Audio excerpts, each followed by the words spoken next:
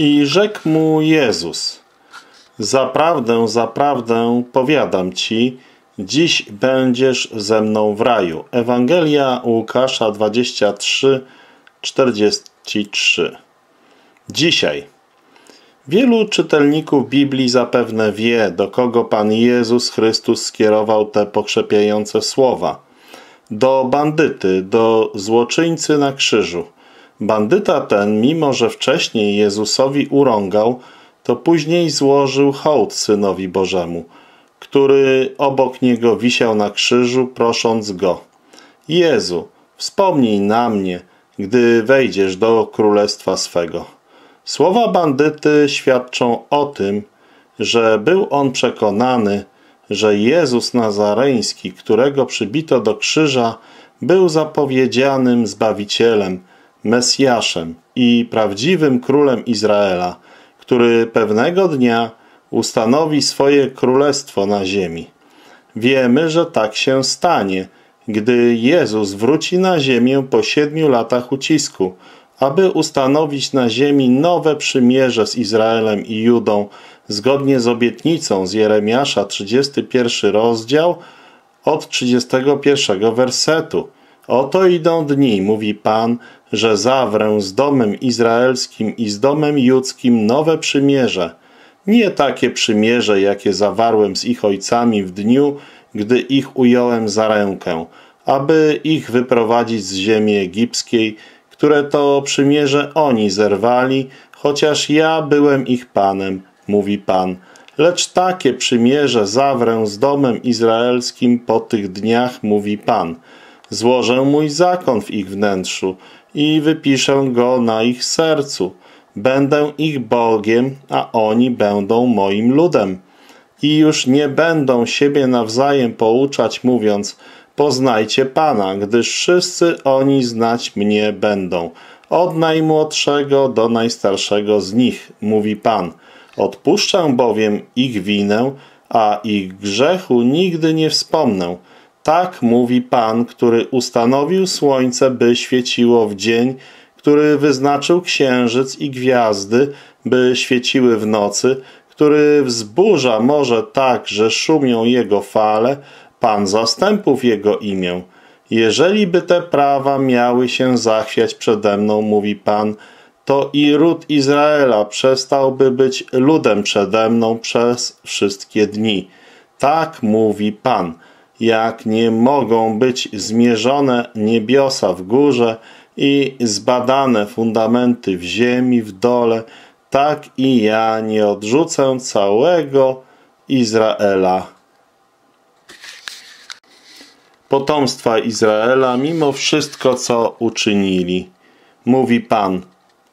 Biblia, Księga Jeremiasza, 31 rozdział. Teraz oczekujemy na Pana Jezusa, gdy z niebios przyjdzie zabrać z ziemi wszystkich chrześcijan do nieba. To zabranie chrześcijan to jest pochwycenie. Po pochwyceniu zacznie się siedem lat ucisku – po siedmiu latach ucisku zacznie się nowe przymierze. Dziś nowego przymierza jeszcze nie ma. Zacznie się ono po ucisku. Odpowiedź, jaką bandyta otrzymał od Jezusa, musiała być dla niego zaskakująca. Pan dał mu do zrozumienia, że nie ma potrzeby, by czekał aż do dnia ustanowienia jego królestwa, ale jeszcze dziś będzie z nim w raju – Jakaż łaska! Ona daleko więcej przewyższyła wszystkie jego oczekiwania. Krew Syna Bożego oczyściła bandytę z jego grzechów. Był, co prawda, przestępcą, na którego ziemska władza wydała wyrok śmierci, ale ponieważ osądził swoje grzeszne życie w Bożym świetle, otrzymał od Boga przebaczenie – Krew Pana Jezusa Chrystusa obmyła tego bandytę zupełnie z jego win i dlatego jeszcze tego dnia mógł wejść do raju. Człowiek ten nie miał już żadnej sposobności, by spełnić choć jeden dobry uczynek. Nie zdołał nawet pomyśleć o takich sprawach. Również dzisiaj nikt nie jest w stanie sobie zasłużyć na niebo, nawet gdyby bardzo się starał. Zgubionemu grzesznikowi pozostaje wciąż ta sama i jedyna droga – Pan Jezus Chrystus. Zwróćmy się do Niego, jak uczynił to Łotr na krzyżu, a jeszcze dziś otrzymamy zbawienie. Człowiek ten nie uczynił nic, co godne by było nagrody. Umierał on okrutną śmiercią, na którą w zupełności zasłużył. Był on łotrem, człowiekiem, który pomagając mordercom z bronią w ręku powstawał przeciwko władzy ustanowionej prawem. Nie zmówił ani jednej modlitwy. Nie zmówił ani jednej modlitwy w swoim życiu. Nie wysłuchał ani jednego kazania. Nigdy nie był w kościele. Nie przeczytał ani jednego wersetu z Biblii. Nie spowiadał się ani razu przed księdzem. Nie był ochrzczony. Nie był bierzmowany. Nigdy nie uczestniczył w komunii. On nigdy nie uczynił dobrego uczynku, ale całe jego życie było złe. Bezsensowna była już także jakakolwiek obietnica poprawy w jego życiu, gdyż nie miał on już więcej czasu do życia niż godzinę. Ten człowiek nie uczynił żadnej skruchy, nie szedł przez czyściec, nie uzyskał też dyspensy od żadnego papieża, bo wprost z krzyża złoczyńcy poszedł do raju. Jeśli więc ten człowiek uzyskał tak cudowny, niezasłużony przywilej z ręki Boga, to czy i my nie możemy mieć nadziei na takie potraktowanie nas? Tym bardziej, gdy pomyślimy, że Bóg jest Bogiem miłości, który nie chce zguby ani jednego człowieka. Oczywiście my także możemy mieć tę nadzieję. Raj Boży jest otwarty bezpłatnie dla każdego, kto do niego wchodzi, tak jak ten złoczyńca. Jakiż był ten sposób, przy pomocy którego dostał się do raju? A w jakiż sposób my tam pójść możemy?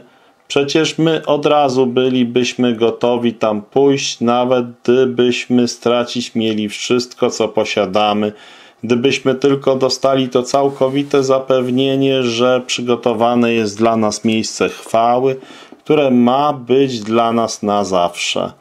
Złoczyńca, o którym mówiliśmy, zużywał resztki swych sił i ostatnie tchnienie na bluźnienie przeciwko Panu Jezusowi, przeciwko męczennikowi, który był tuż obok Niego. Na pewno spodziewał się burzliwej odpowiedzi, ale to było daremne oczekiwanie. Żadne słowo potępienia nie wyszło z ust Pana Jezusa, ukrzyżowanego króla. Nie ukazało się także w jego twarzy ogniste spojrzenie. Z czasem jadowite słowa złoczyńcy zaczęły przycichać, ale w tym momencie sumienie zaczęło działać. Być może, że złoczyńca przypomniał sobie chwilę, gdy on i jego współtowarzysz niedoli przybijani byli do swych krzyży. On przeklinał swoich oprawców, podczas gdy ten łagodny król żydowski, będąc maltretowany, powiedział Ojcze, wybacz im, bo nie wiedzą, co czynią. Ten, który wypowiadał te błogosławienne prośby, nie mógł być zwyczajnym człowiekiem. Myślał w swej duszy złoczyńca. Przypomniał sobie także słowa szeptane po całej Jerozolimie, że ten oto człowiek obok niego konający w cichości mówił o sobie, że jest jedynym prawdziwym Bogiem, który objawił się w ludzkim ciele i nazywał siebie synem Boga. Cóż więc, gdyby to rzeczywiście była prawda? Wielu ludzi wiedziało także o cudach tego spokojnie konającego człowieka, Jezusa. Nie usłyszał także nikt ordynarnych słów z jego ust. Nikt nie widział, aby on popełnił jakiekolwiek złe uczynki. Ten człowiek zwany Jezusem nigdy nie potrzebował odwoływać swoich wypowiedzi, ani przepraszać za nieopatrznie powiedziane słowo lub jakikolwiek czyn. Czyżby to rzeczywiście mógł być Syn Boży? myślał złoczyńca. A te jego słowa, których prosi o przebaczenie swym wrogom, tak, to na pewno jest Bóg prawdziwy. Jeśli kiedykolwiek Bóg miałby stąpić na grzeszną ziemię, to na pewno to On nim jest. Do uszu złoczyńcy wciąż jeszcze dochodziły różne odgłosy motłochu. Król Żydów, spójrzcie na jego koronę, a berło królewskie jakie ma? Patrzcie, jaki ma tron. I gdy złoczyńca przysłuchiwał się tym głosom, został przekonany przez Ducha Świętego, że jest grzesznikiem i dlatego też doszedł do przekonania, że on zasłużył na taki los. Wydawało mu się dziwnym, dlaczego ten człowiek wiszący na krzyżu obok, który nazywa się Jezus, a który przecież nic złego nie uczynił, także musi umierać na krzyżu jak on, który jest tak złym człowiekiem. Zaczął powoli rozumieć, że gdy ten Jezus jest naprawdę Bogiem, objawionym w ciele, Synem Boga i Królem Izraela, narodu boskiego, to na tym nie może być koniec tej sprawy. Bóg może teraz milczy, myślał sobie, ale pewnego dnia Bóg mu jego królestwo da. Po tych rozmyślaniach złoczyńca zdobył się na zadziwiający czyn. W momencie, gdy motłoch wrzeszczał i bluźnił przeciwko niewinnie cierpiącemu, rozległ się głos umierającego złoczyńcy. Panie, pamiętaj o mnie, gdy wejdziesz do królestwa Twego. Zbawiciel świata przyjął słowa te z radością. Odkrył w nich wiarę, która pojawiła się w duszy złoczyńcy. Nie było tu czasu na dobre uczynki, ani na obiecanie poprawy. Był tu tylko beznadziejny grzesznik, oddający się bez wszelkich zastrzeżeń Zbawicielowi grzeszników, który powiedział do niego Zaprawdę, zaprawdę powiadam ci, dziś ze mną będziesz w raju. Tak więc ten biedny grzesznik, którego cały czas nazywamy złoczyńcą, nie potrzebował czekać na wejście do raju.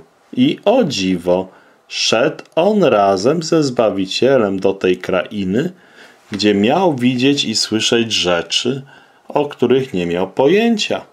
I tak, umierając, przymknął oczy na ten świat po to, aby ujrzeć twarz Zbawiciela i Jego głos. Otwarły się dla niego drzwi wiodące do wiecznego szczęścia, mimo, że zasłużył na najgorszą wieczną poniewierkę i karę wiecznego potępienia w jeziorze ognistym, gdzie byłby dręczony dniem i nocą na wieki wieków ogniu i siarce. A jakżeż sprawa przedstawia się z nami? Czy i my odkryliśmy już drogę do Boga? Jest ona dobrze widoczna i niezamglona? O, ona jest wyraźnie określona słowami, niesprawiedliwymi czynami naszymi, lecz Jego łaską On zbawił nas. Łaską wyście zbawieni przez wiarę, a to pochodzi nie od was, bo to dar Boga. Za dar nie płaci się, bierze go się tylko do swojej wolnej ręki i dziękuje się dawcy. Tak jest i ze zbawieniem. Darem Boga jest życie wieczne przez Jezusa Chrystusa, Pana naszego. Złoczyńca nie ofiarował nic, ani nie obiecywał niczego, ale natychmiast przyjął dar Chrystusowy, tę obietnicę wstępu do raju, do którego też tego samego dnia wstąpił. A jak ty możesz dostąpić tego? jak i ty musisz przyjść do Chrystusa jak winny i grzesznik, tak i ty musisz przyjść do Chrystusa jako winny grzesznik, stwierdzając o sobie, ja wiem, że we mnie nie mieszka nic dobrego. I ty nie próbuj usprawiedliwić swej przeszłości. Nie rób także łatwych obietnic na przyszłość. Nie próbuj targować się z Bogiem, obiecując Mu więcej modlitw i więcej dobrych uczynków. Przez śmierć na krzyżu Chrystus zadość uczynił wszystkim wymogom sprawiedliwości, które żądał Bóg od grzesznika. Bóg złożył na Chrystusa wszystkie nasze niesprawiedliwości.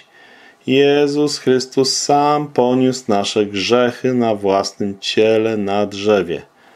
Wypowiedzeniem słów wykonało się, Bóg przyjmuje każdego grzesznika, który wierzy w Jego Syna, a nie wierzy w siebie. Jak możesz być pewnym tego, że Bóg Cię przyjął? Otóż Chrystus sam obiecał, tego, który do mnie przychodzi, nie wyrzucę precz. Powiedziane jest również w Słowie Bożym, a tym, którzy Go przyjęli, On dał siłę, aby się stali synami Bożymi. A gdy Ty pójdziesz z modlitwą do Niego, wyznając Mu, że jesteś grzesznikiem i winowajcą, On przyjmie Cię bezpłatnie i bez wszystkiego. On oczyści Cię także od wszelkiego grzechu, ponieważ krew Jezusa Chrystusa, Bożego Syna, oczyszcza nas od wszelkiego grzechu. On zrobi z Ciebie dziecko Boże. On odrodzi Cię na nowo i z tym nowym życiem dostaniesz część należną w domu Ojca Niebiańskiego. Oto jest droga i to jedyna droga. Nikt, który idzie tą drogą wiary w Chrystusa, nie może zabłądzić do nieba, albowiem powiedziane jest mocą Bożą strzeżeni są ci, co są Chrystusowi. Proś więc Chrystusa, aby zbawił cię teraz. Żaden nie prosił jeszcze daremnie i ty nie będziesz pierwszy. Złoczyńca prosił, a Chrystus odpowiedział natychmiast. Ktokolwiek będzie wzywał imienia Pańskiego, ten będzie zbawiony.